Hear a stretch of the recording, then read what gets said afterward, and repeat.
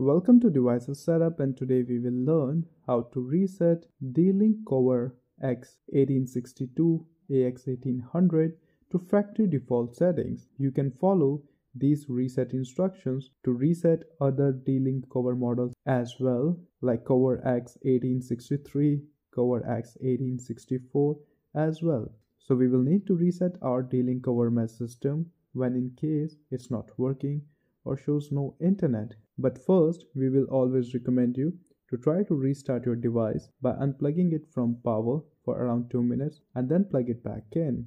Now check if this resolves your issue. If not, then kindly cross check with the ISP as well once to make sure that the issue is not with the modem. Now, if you have done all this already, then let's reset your unit.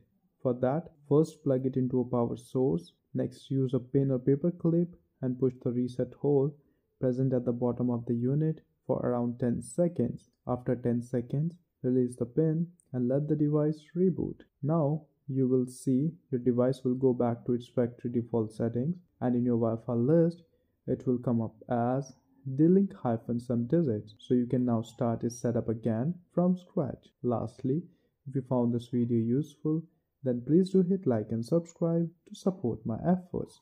Thank you.